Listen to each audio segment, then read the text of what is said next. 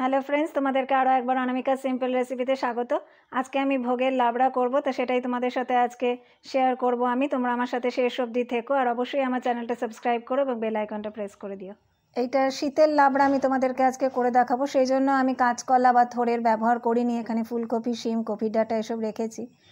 তাই আমি প্রথমেই তোমাদের ইনগ্রিডিয়েন্টসগুলো দেখিয়ে নিচ্ছি। এখানে ওয়ান টিস্পুন পাঁচফোড়ন রেখেছি, দুটো তেজপাতা, একটা শুকনো লঙ্কার একটু বড়ি রেখেছি, অর্ধেকটা বেগুন এইভাবে কেটে রেখেছি, একটা ছোট ফুলকপি কেটে রেখেছি, পাঁচটা কাঁচা লঙ্কা আমি চিড়ে রেখেছি।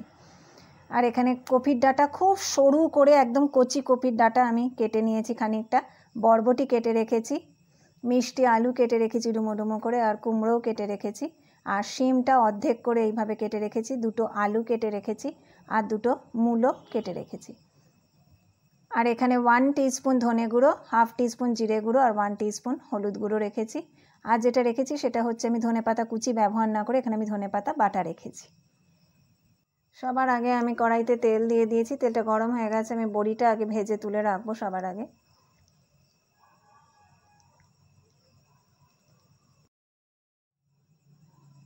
এবারে আমি বেগুনটা ভেজে নেব।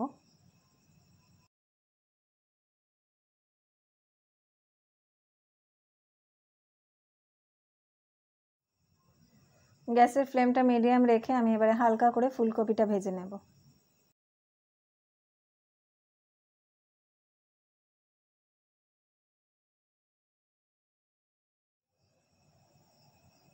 আমি কড়াইতে আরও দু টেবিল চামচ মতন তেল দিয়ে নিলাম।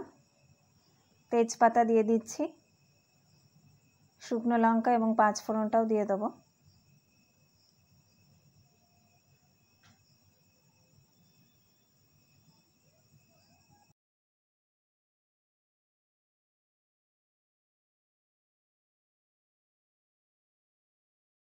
পাঁচ ফোড়নটা থেকে সুন্দর গন্ধ বেরিয়ে গেছে, তাই আমি এবারে সব সবজিগুলো একে একে দিতে থাকব।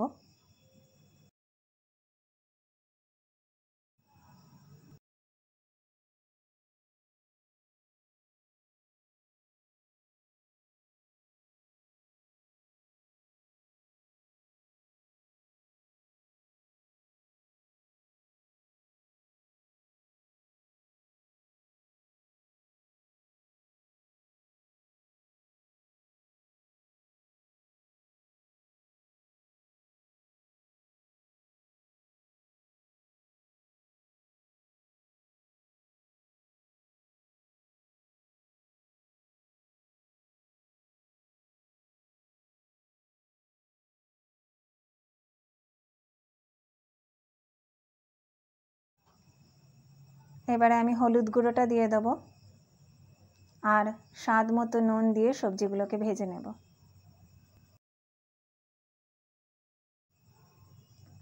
এবারে আমি সবজিটাকে ভালোভাবে মিশিয়ে নিয়েছি, নিয়ে আমি এটাকে একটুখানি মিডিয়াম ফ্লেমে ঢাকা দিয়ে রাখব যাতে জলটা বেরিয়ে যায়। ঢাকাটা খুলে নিচ্ছি, দশ মিনিট হয়ে গেছে। এবার একটু নেড়ে নেব আমি, হালকা জল বেরিয়ে এসছে।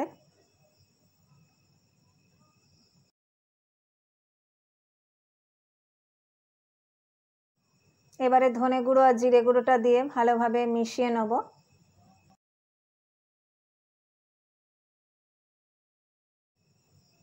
মিশিয়ে নিয়েছি ভালো করে, এবার আমি আরও কিছুক্ষণ ঢাকা দিয়ে হতে সময় দেব। আরও দশ মিনিট পর আমি আবার ঢাকাটা খুলে দিলাম। সবজির থেকে যেই জলটা বেরিয়েছিল সেটা সম্পূর্ণ শুকিয়ে গেছে। এবারে আমি ভালোভাবে সবজিটা মশলার সাথে তেলের মধ্যে কষিয়ে নেব। ফুলকপিটাও এখন আমি দিয়ে দিচ্ছি। দিয়ে আমি এটাকে মিডিয়াম ফ্লেমে বেশ কিছুক্ষণ ধরে কষাবো তরকারিটা। আর একটা কথা তোমাদের বলে রাখি, আমি যেখানে কফির ডাটাটা ব্যবহার করেছি, এটা ভীষণই কচি আর খুব সরু সরু করে কেটে আমি দিয়েছি।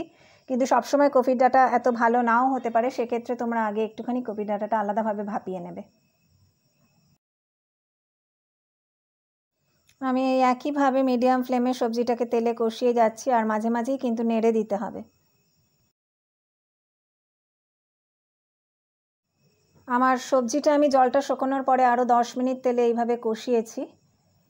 আমার সবজি প্রায় অর্ধেকের বেশি সেদ্ধ হয়েই গেছে, তাই আমি টু থার্ড কাপ গরম জল দিয়ে এবারে লো ফ্লেমে ঢাকা দিয়ে এটাকে হতে সময় দেব।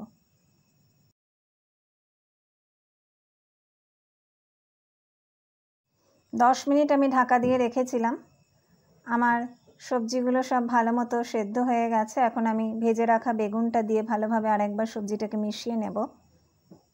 আর তোমাদেরকে আরও একটা কথা বলে রাখি, আমি টু টিস্পুন চিনি দিচ্ছি, তোমরা তোমাদের স্বাদ অনুযায়ী দিও। আর আমি সবজিগুলো সব মিডিয়াম করে কেটেছি, সেই অনুযায়ী আমি আমার সেদ্ধর টাইমটা বললাম। তোমরা যদি বড় বড় টুকরো করো, সেটা দেখে নেবে। কটা কাঁচা লঙ্কাও ছড়িয়ে দিলাম।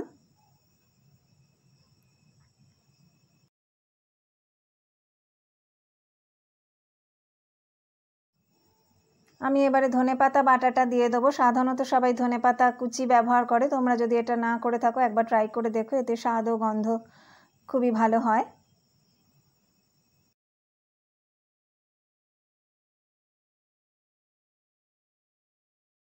ভেজে রাখা বড়িটা আমি একটু ভেঙে নিয়েছি, সেটাও আমি দিয়ে দিচ্ছি। এবারে আমি খুব ভালোভাবে এটাকে ফ্লেমটাকে হাই করে দিয়েছি। আর এক মিনিট মতো এটাকে আমি রেখে ভালোভাবে মিশিয়ে নেব।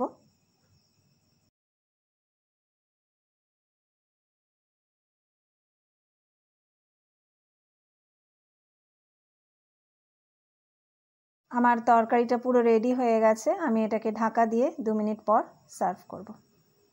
এই লাবড়া খিচুড়ি বা ভাতের সাথে খুব ভালো যায়। তাহলে আজকে যদি এই ভোগের লাবড়াটা তোমাদের ভালো লাগে, আমাকে কমেন্ট করে জানিও। আর বন্ধুদের সাথে শেয়ার করে এবং লাইক করে দিও। সবাই খুব ভালো থেকো, সুস্থ থেকো। নমস্কার।